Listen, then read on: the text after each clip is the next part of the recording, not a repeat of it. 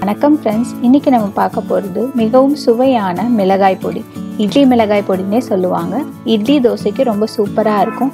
ஹெல்த்தியானதும் கூட நம்ம உளுந்து சேர்த்து தான் அரைக்க போகிறோம் வாங்க அதுக்கு என்னென்ன தேவையான பொருட்கள்னு பார்க்கலாம். மிளகாய் வத்தல் எட்டிலிருந்து பத்து. கருவேப்பிலை கொஞ்சம். உளுந்து நூறு கிராம் ஒரு டீஸ்பூன் மிளகு. எட்டிலிருந்து பத்து பூண்டு. ஒரு டீஸ்பூன் சீரகம். கடாயில் எண்ணெய் ஊற்றி எண்ணெய் நல்லா காயட்டும். காஞ்சதும் காய்ந்த மிளகாய் போட்டுக்கோங்க. நல்லா வறுத்து எடுத்துக்கலாம்.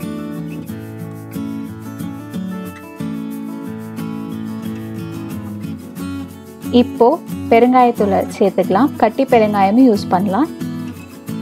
கருவேப்பிலை சேர்த்துக்கோங்க. இது நல்லா முறுமுறுன்னு வர அளவுக்கு வறுத்து எடுத்துக்கணும். உப்பு சேர்த்துக்கோங்க. கல்லுப்பு பொடிக்கெல்லாம் ரொம்ப நல்லா இருக்கும். இதுக்கப்புறம் வெறும் இதில் எண்ணெய் ஊற்றாமல் உளுந்து சேர்த்து வறுத்து எடுத்துக்கோங்க. நல்லா செவக்கிற அளவுக்கு வறுக்கணும்.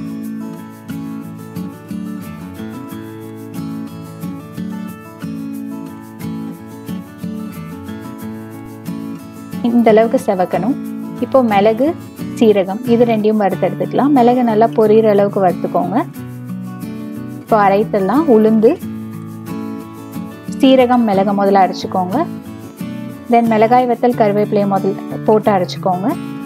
கடைசியாக பூண்டு போட்டு அரைச்சிக்கோங்க.